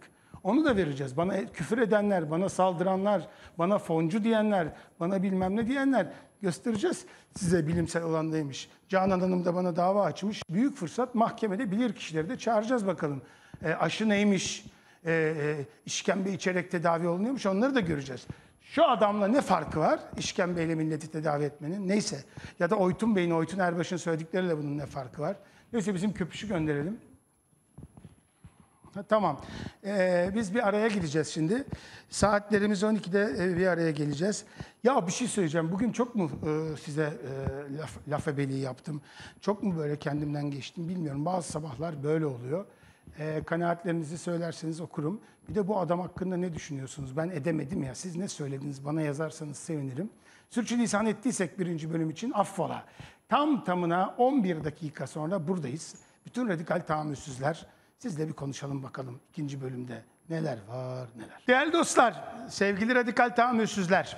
Saatlerimiz 12'yi gösterdiğinde e, biz ne yaptık şimdi? Son dakika kim demiş mi? Erdoğan biz Suriye'de her zaman çözümün parçası olduk. Suriye'de toprağın, Suriye toprağında gözümüz yok demiş. Yok. Reis dediyse doğrudur. O zaman şuradan yürüyelim mi biraz iki, e, iki satır? Şimdi dün akşam Sayın Yusuf Ziya Özcan Gelecek Partisi kurucularından Davutoğlu ile ilgili bir e, değerlendirme e, yaparken ben dedim ki Davutoğlu bu işte Suriye'nin e, perperişan olmasında önemli bir rol oynadı dedim. Sayın Yusuf Ziya Özcan da siz reisi tanımıyorsunuz dedi. Onun istemediği bir şey kimse ona kabul ettiremez. Ne demek bu? Şu demek, Suriye meselesindeki irade ondan e, geldi demek. Bakın öyle enteresan bir şey yaşadık ki Suriye ile Türkiye arasında başka bir gerilim varken e, bence Türkiye'nin e, e, Cumhuriyet anlamında anladığımız son yani siyasal İslamcı ol- olmayan son Cumhurbaşkanı Sayın Ahmet Necdet Sezer'dir. Ondan sonra siyasal İslamcılar e, dönemi başladı. Abdullah Gül Bey oldu. Sonra da e, tek adam rejimi ve şey değişti. Cumhuriyet bitti. Saray rejimi kuruldu. Bu bu. Şimdi e, Cumhurbaşkanlığını adaylığını açıklayan Kemal Kılıçdaroğlu e, ekibiyle birlikte bunu geri döndürmeye çalışacak. Onu sonra konuşuruz. E, Erdoğan ideolojik bir yapısı olduğu için bu meselede işte bu Rabia vesaire ile birlikte aslında Esad ailesinin Suriye egemenliğindeki o mezhepsel farkı e, oradaki e, süreci ortadan kaldırmak Avrupa'nın, Amerika'nın desteğini alarak orada bir kendince ılımlı İslam devletinin sınırlarını geliştirmek gibi bir fantezi içerisindeydi. Fakat Esad hattında İran ki kadim ve büyük bir devlet, üstelik onlar e, Şii oldukları için yine bir ideolojik fark var. Ve arkadan e, Rusya hattında e, Esad'ı devirmediler. Ki uzakta da Çin var. Orada bir hat oldu. Aslında iki kutuplu dünyanın kuruluşu da orada başladı. Bir yanıyla bunu böyle anlamakta yarar var. İş değiştiği için şimdi Erdoğan hasar tespiti yaptı ve bütün gücüyle birlikte bu meseleleri çözmeye çalışıyor. Dün e, Sayın Süleyman Soylu dedi ki Suriyelilerin %70'i ülkesine dönmek istiyor dedi. Kabaca 10 milyon Suriyeli olduğunu düşünseniz 7 milyonu dönecek demektir. Dolayısıyla kalan 3 milyona da bu ülke taşıyabilir anlamına e, geliyor. Şimdi bu noktaya geldiler. Burada e, böyle çok derin, e, neredeyse ırkçılığa varan sert bir milliyetçi e, söylemle aslında ilk ateşi yakan e, gerçekçi olmak gerekirse Zafer Partisi Genel Başkanı Ümit Özdağ oldu. Gündeme getirdi, partisini buradan büyüttü. Bu büyüttüğü zemin üzerinden siyaseti etkiledi. Bu ne demek? Siyasette bazen bir damar yakalarsanız oradan yürür gidersiniz. Bunun altını çizmek istiyorum. Ve bütün siyasi yapıyı burada yönlendirdi. Şimdi Erdoğan çok net bir değerlendirme yaparak şunu söylüyor. Suriye toprağında gözümüz yok bu işi çözeceğiz. Bunun altını çizin. Seçime giderken Suriye meselesinde, Ukrayna-Rusya meselesinde, göçmenlerin gitme meselesinde, Alevilere belli haklar tanınmasında, para basarak piyasayı paraya boğma konusunda birçok şey olacak. Olumlu gelişmeler bekliyoruz. Serbest piyasadan taviz vermiyoruz diyor. Zaten Adalet ve Kalkınma Partisi doğrudan piyasacı bir partidir. Milliyetçilik ve dincilik tamamen kapitalizmin ürettiği ve toplumlarda patronların rahat edebilmesi için uydurulmuş yaklaşımlardır. Yurtseverlikle e, piyasacı milliyetçilik arasında fark vardır. Yurdunu sevenler, devletine bağlı olanlar, e, sokağına bağlı olanlar, insanına bağlı olanlar, o coğrafyada yaşayan hayvan, insan, ağaç, her ne varsa tohum, toprak hepsini severler. Oysa ki koyu milliyetçilik, ırkçılığa varan milliyetçilik bir ırkın üstünlüğüne e, dayanır. Bir kere bu bir. Dinciliğe gelince de dincilik toplumsal fay hatlarını harekete geçirdiği için insanın başka bir şey düşünmesine engeldir. Bunu da altını çizelim. Market sayısını 2500'e çıkaralım ve piyasayı tarım kredi olarak e, balans edelim demişler. Tarım kredi kooperatiflerindeki tabloyu gördük. Aslında nasıl da Cumhuriyet'in e, kurdukları değerlere geri dönüyor e, Sayın Cumhurbaşkanı mecbur kalıyor. E, çünkü et ve süt, et ve balık kurumu vardı ve orada insanlar ucuz alışveriş yapabiliyorlardı. Eskiden tanzim satışlar vardı, orada ucuz alışveriş yapabiliyorlardı. Ama serbest piyasa- piyasacılar kafasına vura vura vura vura e, bunları kapattırdılar siyasi iktidarlara. Bakın size bir şey söyleyeyim mi? Gökhan Günaydın Bey bir proje yürütüyor şeyde e, e, İstanbul Büyükşehir Belediyesi çerçevesinde ve bu projede e, üretip üreticiden tüketiciye bir tür kooperatifçilik gibi yaparak hızla onlara makul fiyata ulaştırmaya çalışıyor ve belediye burada üretim, ekmek ve e, aslında işte e, besin üretimi bağlamında toprakla insanı buluşturuyor. Sebze meyve üretiyor. Biliyor musunuz? Belediyenin içinde de dahil olmak üzere özellikle dışarıda bu market zincirleri falan adamı hedefe oturttular. Niye? Vay efendim belediye bunu yapar mıymış? Niye yapmasın birader? Ekmek alamıyor insanlar. Domates alamıyor. Kendi tohumunu üretip çiftçiyle bu katkıyı yapmak kötü mü? Başka bir şey daha söyleyeceğim. Zamanında Tunç Soyer'e söylemiştim ben. O zaman aramız daha iyiydi. Şimdi nane biliyorsunuz. Ee, Tunç Soyer, efendime söyleyeyim e, Mersin, Adana, Hatay, e, İstanbul, e, Ankara neyse böylesine büyük bir zincir kursalar. Gökhan Günaydın'ı başına getirseler, Cumhuriyet Halk Partisi Genel Başkanlığı yap- yapmış, eskiden Ziraat Mühendisleri Odası Başkanlığı yapmış bir isim. Ziraatçileri, çiftçileri son derece iyi bilir. Bütün belediyeler açısından bir koordinasyon kurulsa, Sayın Kemal Kılıçdaroğlu bunu topluma açıklasa e, ve dese ki e, çiftçilerin doğrudan içinde olduğu bir kooperatifleşme yapıyoruz. Belediyelerin örgütlediği bu yapı bir şirket kurduk. Bu şirketin amacı topraktan sofraya ucuz getireceğiz dese besini. Ve bölgedeki mesela kiminin portakalı var, kiminin limonu var, kimi çilek üretiyor, kimi zeytin üretiyor. Cumhuriyet Halk Partili belediyelerin olduğu, İyi Partili vesaire belediyelerin olduğu e, HDP'li belediyeler kalmadı ama o coğrafyadakileri de içine katarak başına e, Gökhan Günaydın gelse ve mağazalar zinciri olsa bu mağazalar en ucuza üretip en ucuza e, satsa, sofraya getirse, sofraya getirse, halk ucuz besin alsa bir, Çiftçi rahat etse iki, belediyeler kamu görevi yaparak e, solcu bir anlayışla, kamucu bir anlayışla kendisine anlatsa üç ve iktidarda bir model oluştursa dört. Kötü mü olur? Kötü mü olur? Kim bundan rahatsız olur? Bizim sırtımıza binen, bizim sırtımıza binen tefeciler, aracılar ve işte zincir marketler. Onlardan mı korkacağız? Onlardan mı korkacağız? Ama belediyeler birbiriyle koordine olmak istemiyor. Olun birader. Olun. Yapın bunu. Biz Antalya'daki ürünü İstanbul'a geldiği zaman orada 50 kuruşa çıkan ürünü burada 70 liraya yemeyelim. Biz de 5 liraya yiyelim. Dolayısıyla bu marketler zinciri, bu kooperatif meselesi bence büyük proje. Diyeceksin ki Enver kendi kendine ne anlatıyorsun? E, her güne bir proje abi. Birinci gün Bay Kemal projesini anlattık. ikinci günde bunu anlattık. YSK Başkanı yargıya taşıyıp bu adama bedel ödetmeli. CHP liderinin YSK çıkışıyla ilgili. Bu adam dediği Bay Kemal. Artık Bay Kemal diyemediği için e, başka bir durum da var. E, YSK Başkanı'nı da kim mahkemeye verecek o da ayrı bir hikaye. Velhasıl kelam tablomuz bu. Şimdi, şimdi şeyden vazgeçtim Hasan. Ee, şu e, yobazlarla ilgili bölümü yapalım önce. Diyanet meselesini yapalım. Hakikaten insanı utandıracak e, görüntüler devletin resmi kanallarında parayla, pulla vesaireyle bizim e, vergilerimizle oluşan kanallarda bakın neler oluyor. Yine kadınlar hedefte, yine kadınlar düşman, yine kadın bedeni hedef alınmış Diyanet TV'de yapılan bir konuşma. Buyurunuz. Pantolon dediğimiz şeyler hep böyle daracık şeyler olabiliyor. Hele hele kadınlar. Hepimiz kabul edelim ki seyircilerimiz de takdir ederler. Pantolon dediğimiz şeyler hep böyle daracık şeyler olabiliyor. Hele hele kadınlarımızda. Son zamanlarda da ne var artık böyle tight şeklindeki pantolonları tasvip etmek özellikle yani e, toplumun huzurunda onunla çıkmak çok e, takdir edilir. Tasvip edilir şeyler değil. Aslında dini kuralların ihlalidir de. Peki bu pantolonun üstüne efendim vücut hatlarını belli etmeyecek şekilde geniş bir giysi. Efendim tunik. ne yapabilir? E, acaba o e, noktaları örtebilir mi? E, tabii ki e, gerçekten vücut e, hatlarını ve tenini belli etmeyecek şekilde bir örtü üstüne örtülebiliyorsa ne yapılabilir? Tesettür sağlanmış olabilir. Ama e, yine de e, şunu göz ardı etmememiz lazım. E, yani Allah e, örtünmeyi emretmekle birlikte aslında detaylarını ne yapmış oluyor? Toplumun örf ve adetlerini bırakmış aramızda. Son zamanlarda da Ya bu ne utanmazlık. Kadınlarımız diyor. Kadınlar senin malın mı birader? O kadınlar seni suya götürür, susuz getirir. Tamamı. Tamamı. Tesettür bilmem ne falan. Sana ne? Sana ne? Sana mı soracak tesettüre girip girmeyeceğini? Sen kimsin? Gerçekten söylüyorum. Sen kimsin? Ayıp ya. Tight meselesine gelince ya birader yani pes mi diyeyim, çüş mü diyeyim, oha mı diyeyim demedim ama. Bunları da eee, bir eee, tablomuz var. Devam edeceğim. Yalnız eee, Erdoğan şöyle diyor, bizim Esed'i yenmek, yenmemek gibi bir derdimiz yok. Diplomasiyi devreden çıkaramayız. Halen Esed diyor ama yakında kardeşim Esad'a doğru gidiyoruz. Yenmek, yenmemek diye bir şey yok. Ya adamı devirecektiniz. Orada bir şey yapacaktınız. Yeni hükümet kuracaktınız. Özgür Suriye ordusu denen katilleri e, oraya gönderecektiniz falan falan feşman. Diplomasiyi devreden çıkaramayız. Çıkarmamalıydınız.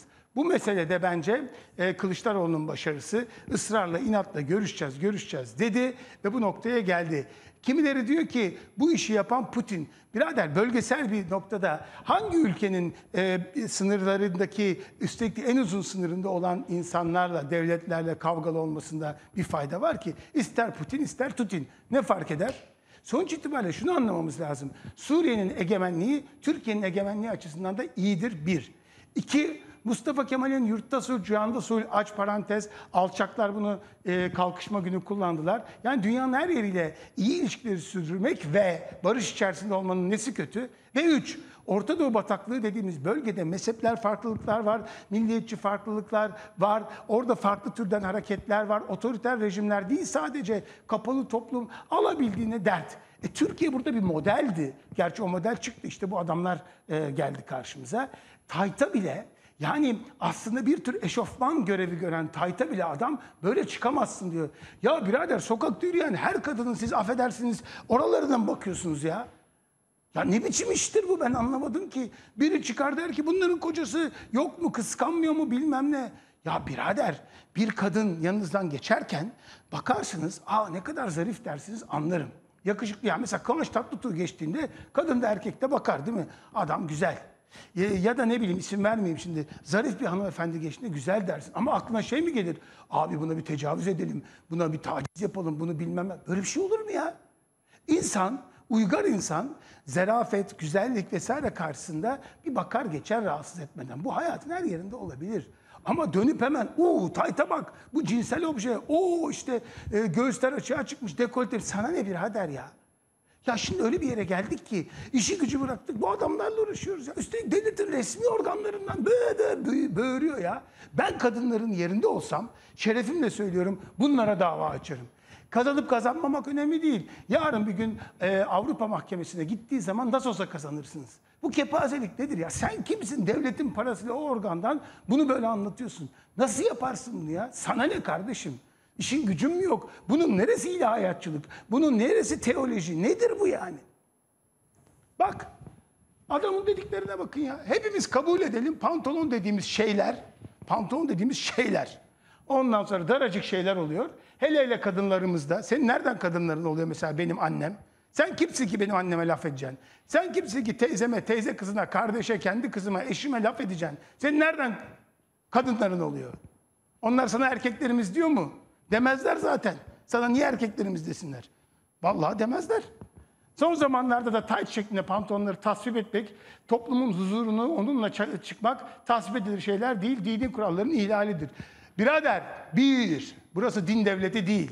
İsteseniz de, istemeseniz de din devleti değil. En azından hala değil. Yüzde seksen, yüzde doksan. Bu bir. İki, kadınlara sizin akıl verecek, yön gösterecek bir sözünüz olamayacağı gibi haddiniz de değil. Tamam mı? Üç, bu kamu kuruluşlarının paralarını, bizim paralarımızı, o kadınların paralarını bu amaç için kullanamazsınız. Suçtur. Hadi bir tane savcı çıksa ya, ya bir tane çıksa da şunu eee, bir araştırsa, soruştursa. Biz böyle laf etsek anamızı ağlatırlar yani. Ee, sınır ötesi operasyon olur mu? Kimse Türkiye hazır mı diye sormasın. Biz bütün bu işlere hazırlıklıyız. Ne yapacağız? Seçim yaklaşırken sınır ötesine gireceğiz. Diyeceğiz ki biz burada bunu yaptık falan filan. Bakın Erdoğan seçimi getiriyor. Sınır ötesi harekat yapacak. Suriye meselesini biz çözdük diyecek. Ee, bu adam dediği adama karşı bindirecek. Onun mezhepsel varlığına vesaireye de bindirecek. Ama önünde anketler var.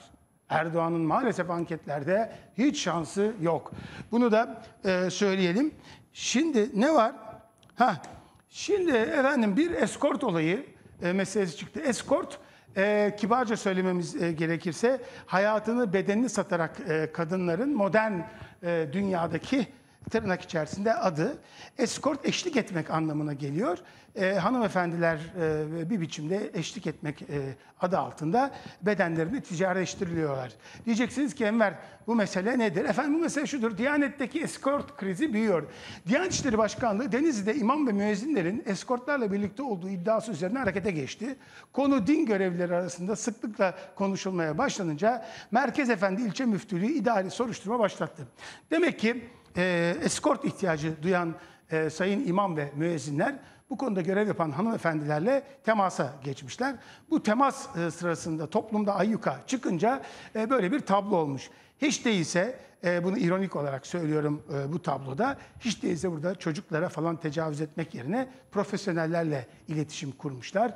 E, utanmazlık zaten almış yürümüş. Ben kimsenin kimle ne yaptığına karışmam ama herkese din pazarlarsanız adama sorarlar birader ne iş? Devam edelim. Efendim bu din tacirleri ne yapmış? Aman buraya geçelim. Ya Hasan bir orada bir burada. Cemre şunları bir tarafa koyun ya. Üç imam ve bir müezzin hakkında yürütülen soruşturma kapsamında çok sayıda din görevlisinin ifadesine başvuruldu. Soruşturma kapsamında verilen ifadelerde 4 değil 11 din görevlisi olduğuna yer verilmiş. Yani 11 beyefendi kendileri halka din ticareti yaparak din anlatıyoruz e, diye orada bir iktidar devşirerek, müezzinlik ederek görev yapan arkadaşlar bazı hanımefendilerle ticari alışverişe girerek bu hanımefendilerle e, affedersiniz e, profesyonel e, mekanlarda profesyonel hizmet alımına geçmişler. Olabildiğince rütüyü rahatsız etmeyecek cümleler kuruyorum. Böyle takla attırarak idare ediyoruz. Siz anlıyorsunuzdur herhalde. Efendim sonra ne olmuş? E, mevzuya bakalım, devam edelim. E, din tacirleri e, ne yapmışlar? Olay üzerine bir açıklama yapan adaletli, dinamik, idealist, liyakatli, diyanet ve vakıf çalışanları sendikası vay anasını satayım. Bir daha söyleyeyim. Adaletli, dinamik, idealist, liyakatli, Diyanet ve Vakıf Çalışanları Sendikası Adil Sen. Adamlar bu adile uydurmak için hepsini koymuşlar, iyi yapmışlar. Takdir. Konuyla ilgisi olmayan üyelerinin soruşturmaya dahil edilmek için ifadesinin alındığını, din görevlilerine baskı yapıldığını belirterek soruşturmaya tepki göstermiş. Soruşturma sürüyor. Burada bana bir uyarı geldi. Zaman zaman bazı sendikaların rakip sendikalara tuzak e, kurduğuna dair de e, biliyoruz ve nihayetinde bu tuzaklık meselesinde e, görüyoruz. Buradaki eskort meselesi bu. Müezzinler e, ne ele verir salkımı kendi yutar talkımı mıydı? Neydi? Ele verir talkımı kendi yukar Neyse öyle bir şeydi unuttum şimdi sözü. O sözden e, böyle şey yapmışlar. Birisi diyor ki tight giyme ben tahrik oluyorum. Öteki diyor ki abi bırak bu işleri. Bak eskort arkadaşlar var. Biz onlarla vaziyeti idare ediyoruz. Tablo bu. Ya kardeşim kiminle ne halt ederseniz edin bir çoluğa çocuğa bulaşmayın. Tamam mı?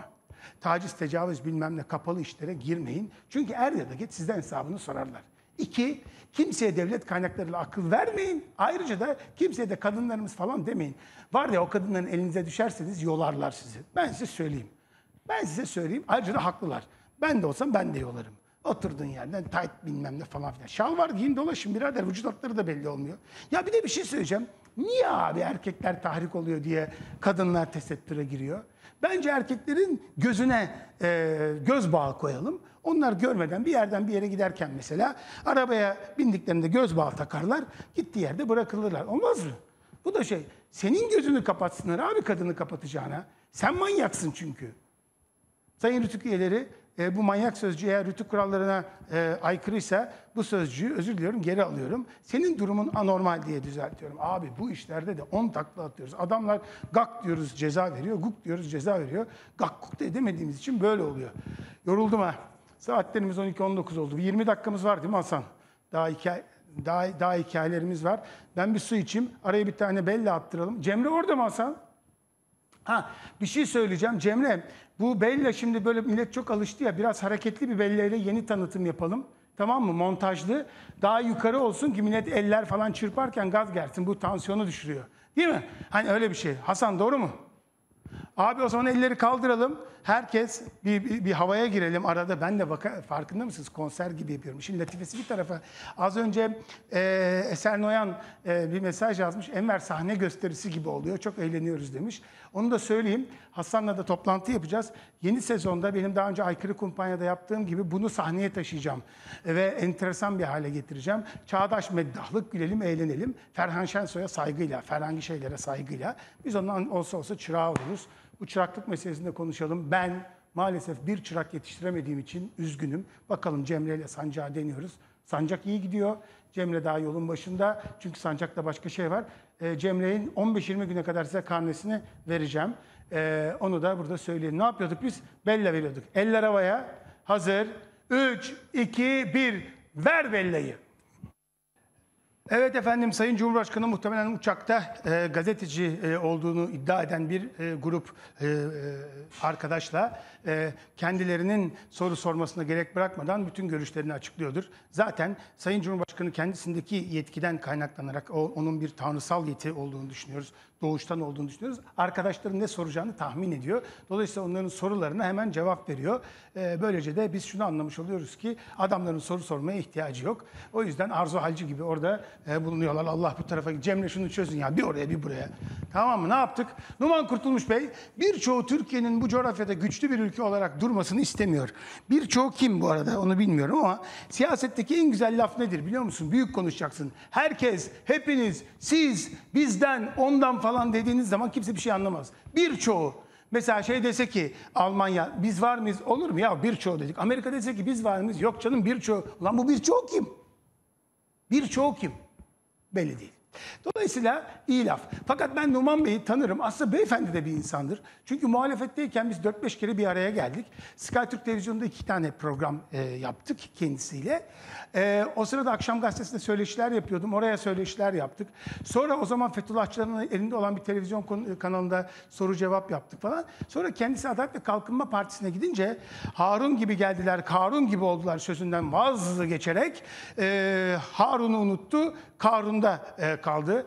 E, bu arada arkadaşım e, Harun'a da e, çok değerli arkadaşım Mudanya Belediyesi'nde yoldaşım danışmanlık yapan Harun şu anda bir ameliyat geçirmiş. Geçmiş olsun. İyi durumu. Onu da bu arada söyleyelim. Çünkü sabah aradım bulamadım. Belki bunu görüyordur.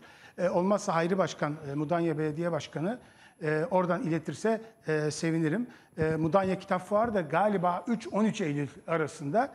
Ben ya 3'ünde ya 13'ünde e, geleceğim. O fuarı e, yapanlar e, benim gelmemden çok hoşlanmıyor olabilirlerdi ama oradaki yurttaşlarımızın ilgisiyle geliyoruz. Bunu da tarihe bir not düşelim. Neydi konu? Numan Bey. Harun gitti, Karun geldi ve dedi ki o bazıları hoşlanmıyor.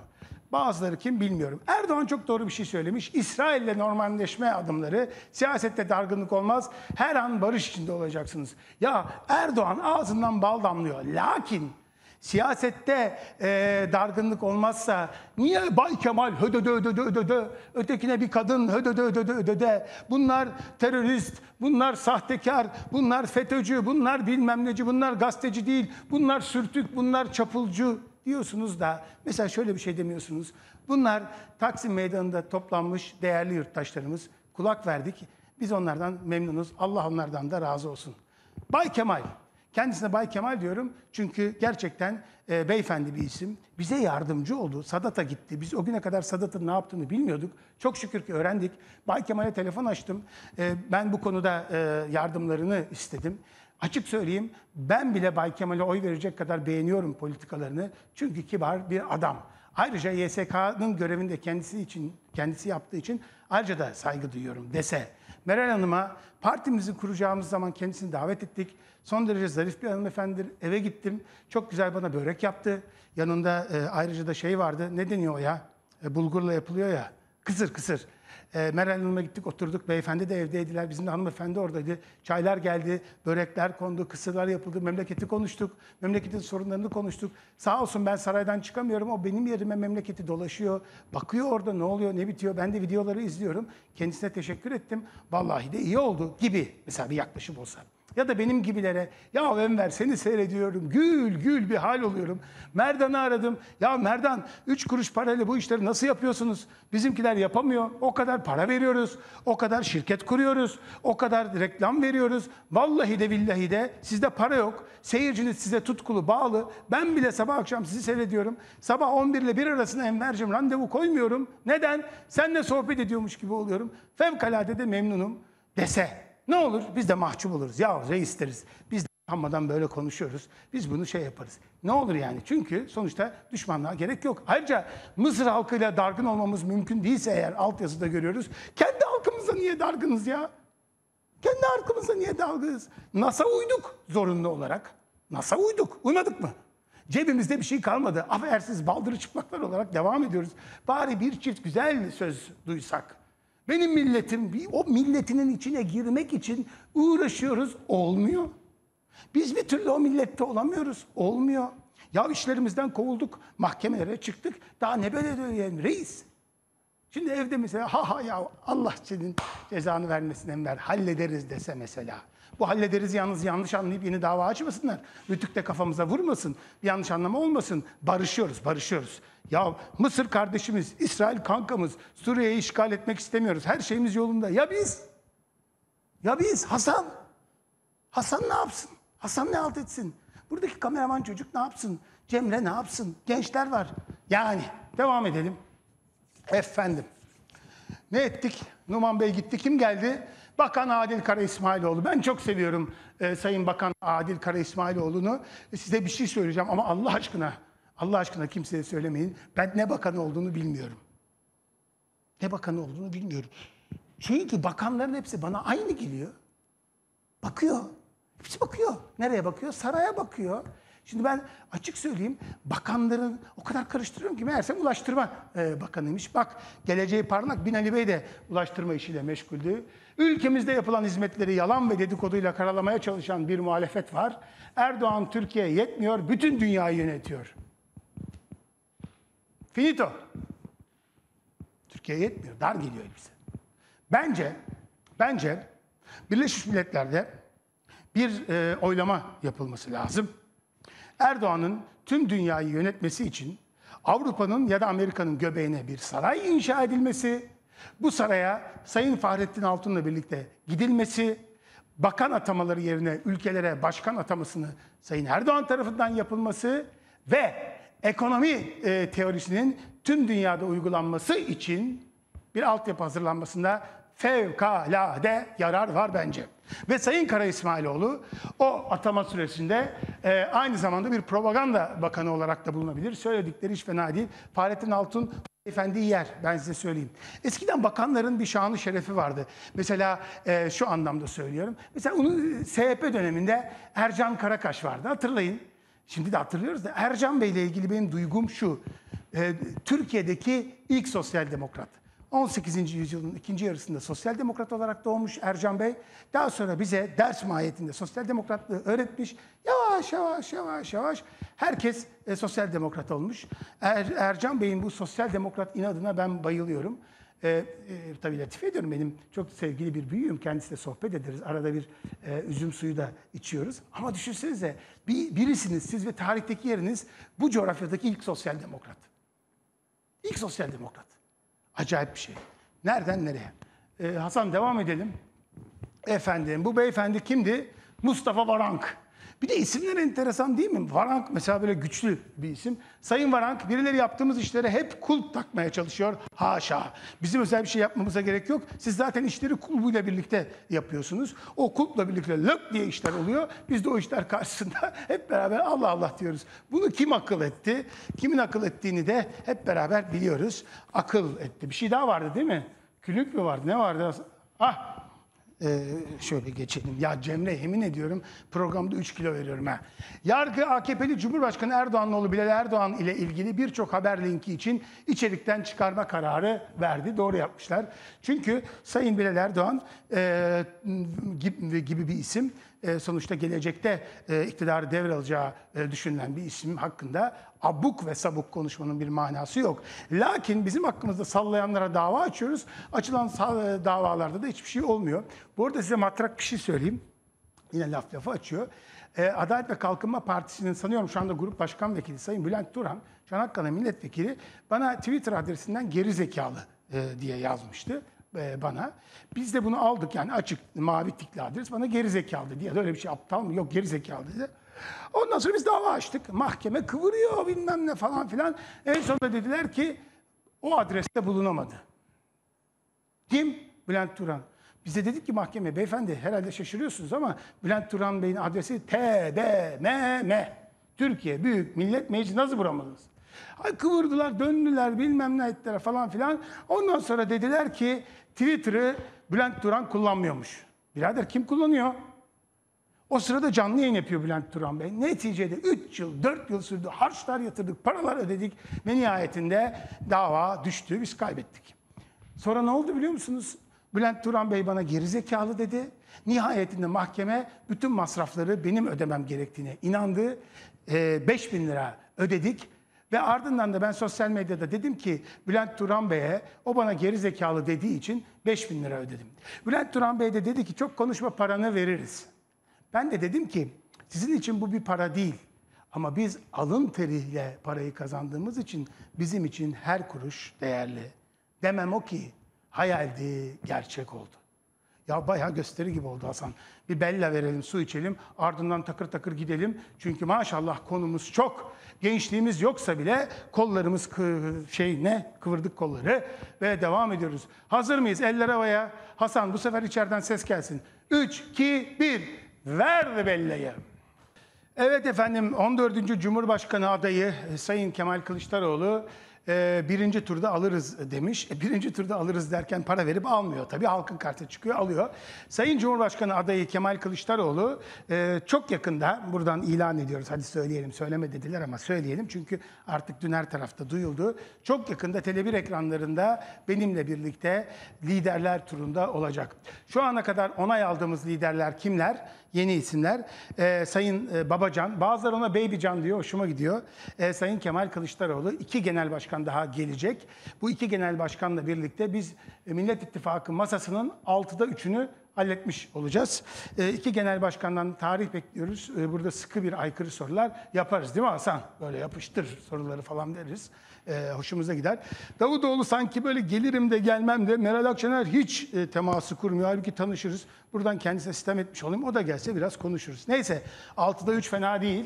Efendim döndük bu tarafa. Şimdi e, Sayın Cumhurbaşkanı adayının nasıl Cumhurbaşkanı adayı olduğunu ve onu Türkiye'ye ilk 3 sene önce benim söylediğimi, ilk günden beri burada herkes Mansur Bey olsun, Ekrem Bey olsun falan dediği zaman arkadaşlar ben biliyordum da hadi açıktan söylemek istemiyordum. Böyle kıvıra kıvıra falan söylüyorduk. Sayın Kılıçdaroğlu'nun Cumhurbaşkanı adayı olduğunu biliyordum. İşte Millet İttifakı'nın adayı Kemal Kılıçdaroğlu nasıl aday oldu görelim. Cumhurbaşkanı oturacak. O Cumhurbaşkanı Türkiye Cumhuriyeti'nin 13. Cumhurbaşkanı olacak.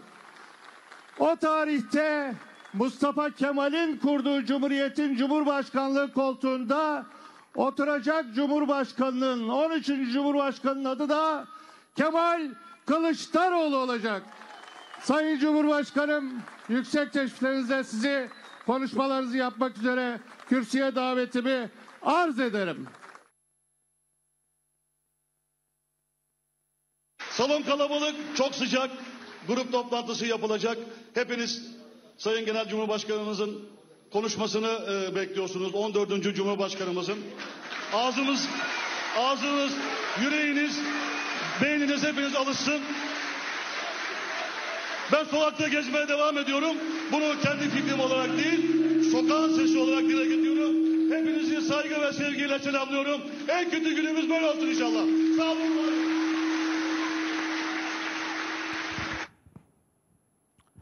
Ee, bir şeye karar versinler. 13 mü 14 mü? Yani e, Recep Bey 13 dedi, Vefa Bey 14 dedi. Bir karar verin. Siz saysanız da çocuklar e, Sayın Tayyip Erdoğan kaçıncı Cumhurbaşkanı, e, Kemal Bey kaçıncı Cumhurbaşkanı olacak onu bir öğrenelim. Bir bakın Allah aşkına. Şimdi güldük falan vesaire ama başka bir yere geldik. Kemal Bey'e asla kabul etmeyeceğim bir fotoğraf verdi. Bu fotoğrafı ben size paylaşacağım ve e, detaylarıyla neden asla kabul etmediğimizi göstereceğiz. E, Cumhuriyet Halk Partisi'nin genel başkanı, e, Millet İttifakı'nın Cumhurbaşkanı adayı Kemal Kılıçdaroğlu bir kitap okuyor burada gördüğünüz gibi. Kitap Seyit Kutub'un Yoldaki İşaretler kitabı. Şimdi Sayın Kemal Kılıçdaroğlu toplumun bütün kesimleriyle helalleşiyor, kucaklaşıyor eyvallah. Seyit Kutup meselesi ama öyle bir mesele değil. Kimmiş Seyit Kutup? Bir görelim bakalım onu. Hasan birinci maddeyi ver. Ee, Seyit Kutup 1906 yılında Mısır'da dünyaya gelen ailesinin de etkisiyle aldığı eğitimler sonrası 1933 yılında öğretim görevlisi olan 30'daki ve sonrasında tam olarak İslami düşünceye yönelen 1949'da da Amerika Birleşik Devletleri'ne giden bir İslamcı figür, siyasal İslamcı figür. Devam edelim. Seyit Kutup 49 yılında yurt dışındayken İslam'da Sosyal Adalet isimli bir eser veriyor. Bu eserinde gerçek sosyal adaletin İslam'da olduğunu öne sürüyor. İlk kitaplarında genellikle geleneksel İslam'a karşı sahih bir çizgiyi savunsa da sonra kitaplarında cihat çağrısı yapmaya başlıyor. Cihatçı. Bu el kitabı cihatçıların el kitabı. Devam edelim. Devam edelim.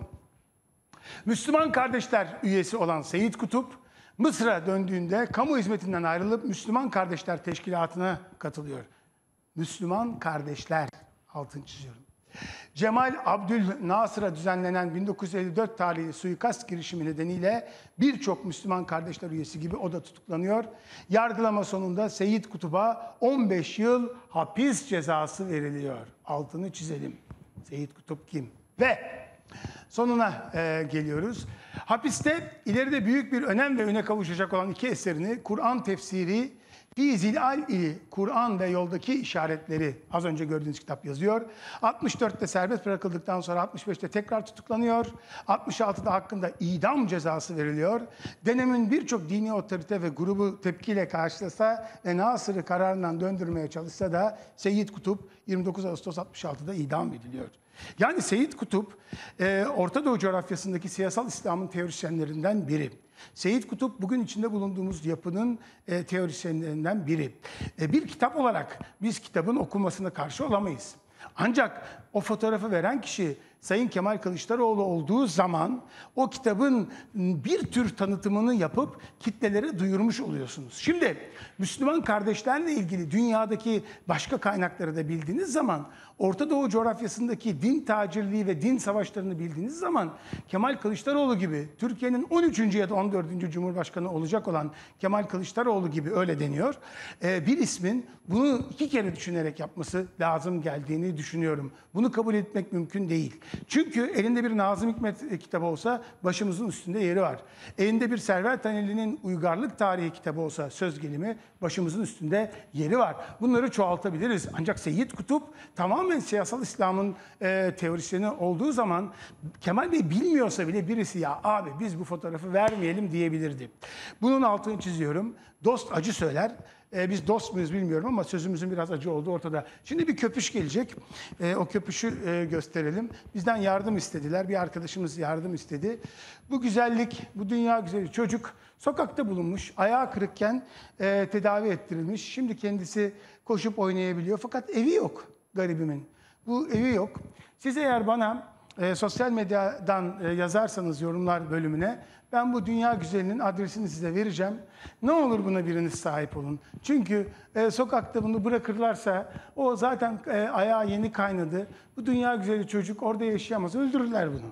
Öldürürler. Hayvan doğasında var. Ne olur biriniz ya bana derseniz ki Enver sen al. Vallahi alacak yer yok. Bizim evde Dobi var. Dört kişilik yer kaplıyor zaten. O yüzden bu güzel çocuğa çok da güzel bir çocuk. Ne olur bir yer bulalım. Benim sosyal medya hesaplarımdan yorumlar bölümüne yazarsınız. Ama aynı zamanda zaten ben duyuru yapacağım. Orada bunu yapacağız. Ne olur bu güzel çocuğa sahip çıkın. Bir sürü hayvansever var. Lütfen şu işi bir halledelim. Ee, bitti mi program? Bitmiş. Değerli dostlar haftayı böyle tamamladık. Efendim e, sürçülisan ettiysek affola. Sizden şunu bekliyorum. Ya sahiden biz bu e, aykırı kumpanya zamanı yaptığımız sonra grup günde arken de nereden nereye yaptığımız dönemdeki gibi böyle Ferhan abinin Ferhangi şeylerine gönderme yapan bir sahne gösterisini e, yapsak gelir misiniz? Böyle bir sahne gösterisinde taşın altına elinizi koyar mısınız? Sahne gösterisi bittikten sonra çıksak, sohbet etsek, kitap imzalasak, yurdun dört bir tarafında kucaklaşsak ne dersiniz? Ben bunu zaten yapmayı planlıyordum ama giderek bu iş arttı. İçinde şarkılarımız olur, e, görüntülerimiz olur, tarihi anımsatmalarımız olur ve biraz stres atarız. E, gösterinin adında radikal tahammülsüz koyarız. Bak ismi de beraber koyduk. Ha Hasan olur mu? Uyar mı? Tamam, hep beraber bunu yapalım. O halde e, sürçülisan ettiysek affola. Pazartesi burada olur muyuz, olmaz mıyız bilmiyoruz. Çünkü bir dakika, bir gün her zaman değerli. Eğer ömrümüz yeterse, soluğumuz yeterse pazartesi günü sabah saat 11'de burada olacağız. Bu haftayı da böyle bitirdik. Umarım sizin kalbinizi kıracak bir şey yapmamışımdır. Bu hafta boyunca kimden söz ettiysek, eğer onları üzecek bir şey yaptıysak lütfen kusurumuza baksanızın. Amacımız kötü değil, amacımız iyi. Eyvallah.